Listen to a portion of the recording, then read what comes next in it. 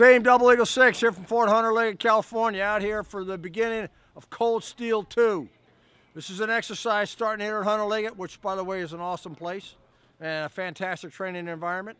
And we're going to run this thing all the way through until the spring, and we're going to end up at Joint Base McGuire Dix Lakehurst. That's in New Jersey. We're going to be going through Fort McCoy, Wisconsin. We're going to be going through Fort Knox, Kentucky.